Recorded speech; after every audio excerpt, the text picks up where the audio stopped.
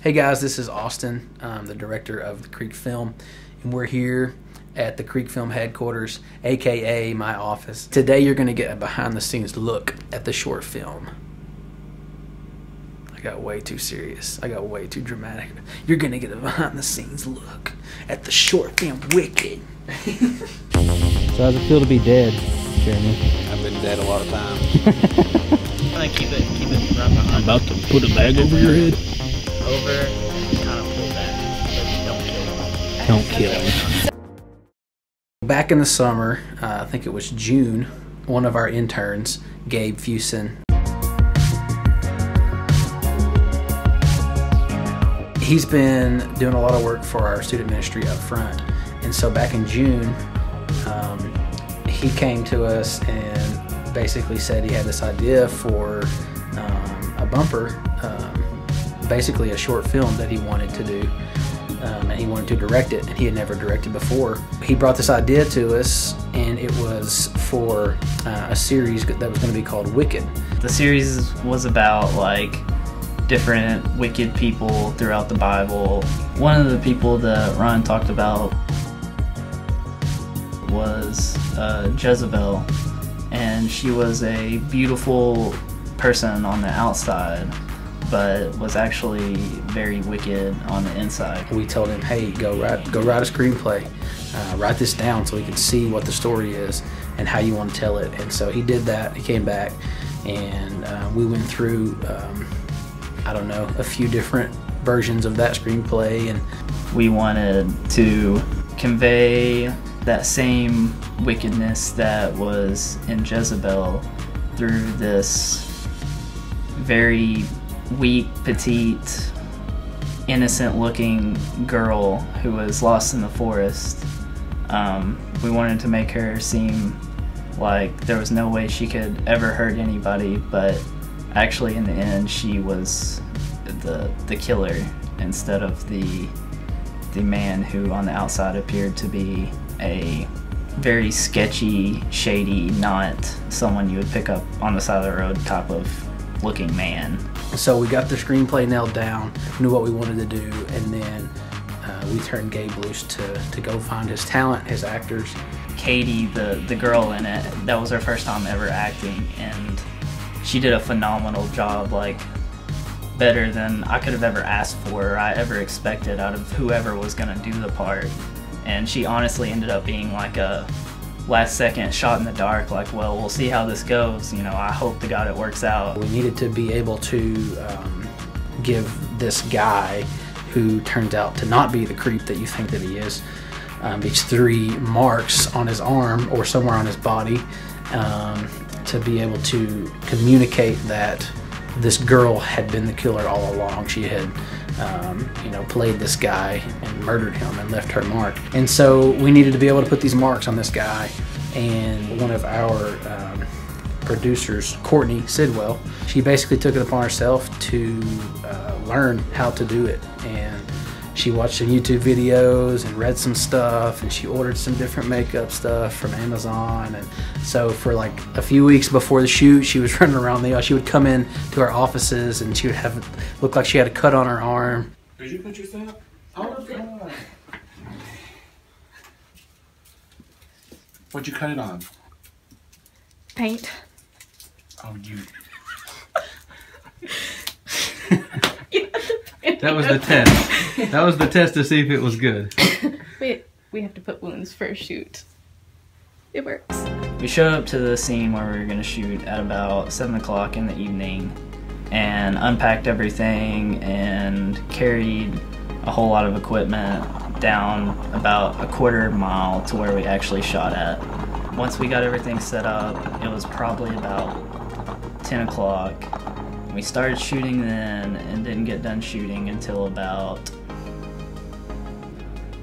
3 a.m., something like that and then finally got everything loaded up and back to the church by about 6 a.m. Everybody worked super hard, even as it got super late. You know, nobody complained or anything, and it was it was really cool to see how everybody just kind of gritted their teeth and and worked their hardest to to make this happen. And that's the great thing about um, our team here um, at the creek is that people just do what they have to do.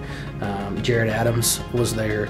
Um, Jared, you know, is fully capable of probably shooting this himself and writing this himself, but he was there um, to support Gabe and to support up front. And uh, Jared ran the boom, uh, uh, did all the audio, and captured all the audio for um, Wicked. And then there was Bruin Jones, who was there wafting haze and running the haze machine.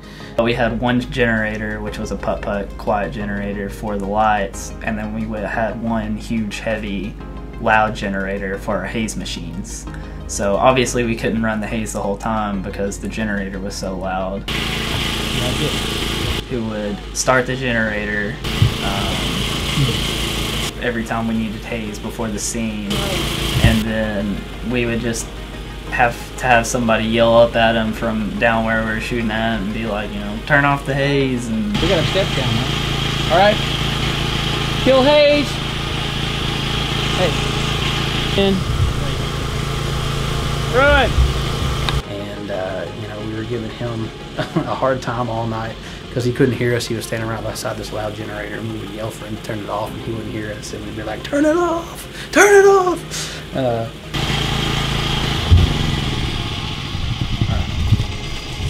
Actually, if you can go ahead and fall, that'd be awesome. Okay. it ended up looking really good, but it was definitely a, a pain in the butt to have to constantly turn on a haze and turn it off and remember so everything's not inconsistent. I'm feeling good. It's also a miracle I haven't tripped yet. one thing is almost set um our um, actor Jeremy on fire when I was uh, pouring a little gasoline on the fire, so that wasn't good. He probably lost his eyebrows.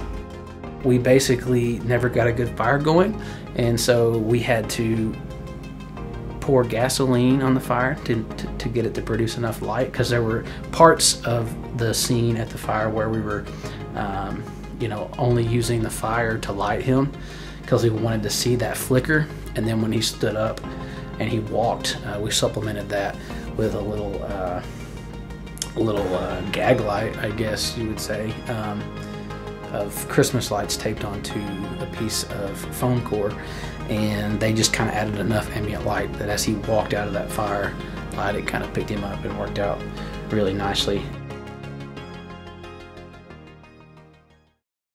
Coincidentally, Stranger Things had just come out whenever Gabe kind of had this idea, and we definitely were inspired by uh, Stranger Things and some of the looks and things in there. And so we threw that track in at the very end as kind of a, a nod towards Stranger Things, uh, that kind of 80s vibe that we all love. Uh, and uh, it's really kind of the perfect way to end it, I think.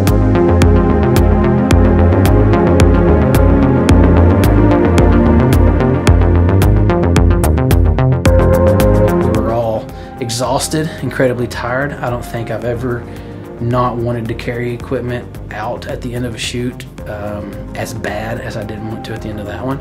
Um, I was literally, I think, dehydrating and cramping, and we had a quarter of a mile to hike this stuff out of there. And so um, that was not fun, but uh, we got what we needed and was really pleased with um, the final product. I was really proud of Gabe. I thought Gabe did um, a very, very good job, incredible job, really, especially the very first time he's ever directed.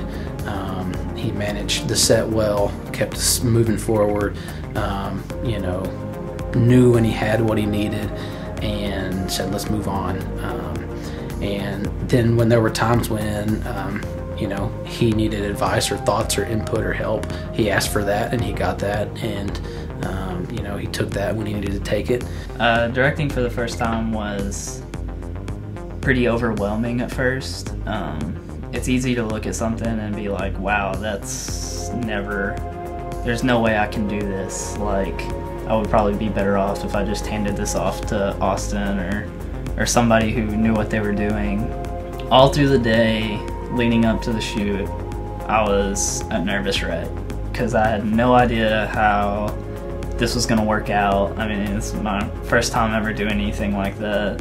You know, I'm only 19 years old. Everybody on the crew's older than me, so it's like, how do I tell somebody what I want without like, when I'm you know younger, like it it seemed odd to me at first, but everybody's like so great on our team, and once once we got everything unloaded and everything set up, and we are finally shooting everything, I think that's when all the stress and all the worry about if this was going to work out just went away, and I could kind of, I finally got into a groove, and just it felt, you know, it's in those moments that you realize like this is awesome, like this is what I want to do, this is my passion, like I love this more than anything.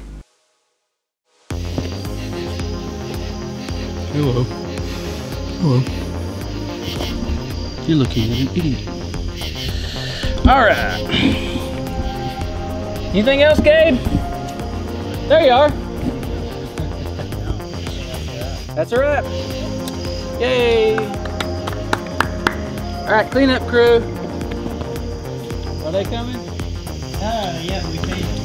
Won't be in my trailer, you guys. Hate being in front of the camera. Do you? Yeah, I do. Why? because I get all sweaty and my voice gets all shaky and I can't keep my, my train of thought and it sucks. That's all. I always hate saying "Hey guys" at the beginning, but it, I always end up saying that. I don't go. Hey guys. Today we're gonna be giving you some behind the scenes, behind the scenes, behind the scenes, scenes, scenes. the Creek film is the bomb diggity. TheBomb.com.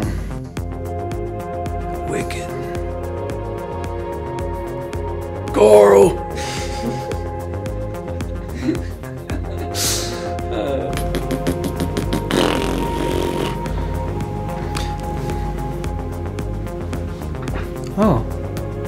Didn't see you there. Welcome to the Creek Film.